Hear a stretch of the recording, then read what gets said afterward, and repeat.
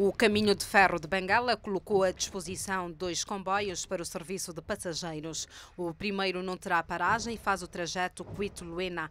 O segundo comboio faz o trajeto Lubito-Ambo. A partida do comboio do Lubito aconteceu por volta das 5 horas da manhã desta segunda-feira e os responsáveis dos Caminhos de Ferro garantiram que a composição tem a sua chegada prevista para hoje, a capital da província do Mochico.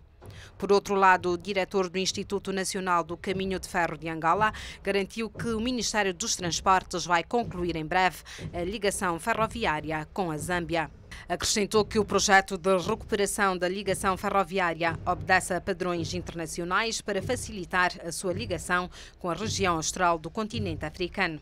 A população de Luena aguarda com muita expectativa a chegada do primeiro comboio comercial do Caminho de Ferro de Bengala, proveniente do Lubito, que vai facilitar a circulação de pessoas e mercadorias desta cidade para outras localidades onde passa a linha férrea. O comboio comercial vai ter uma frequência semanal de Luena ao Bié e vice-versa, com preço de 2.450 kwanzas, num percurso de mais de 300 quilómetros.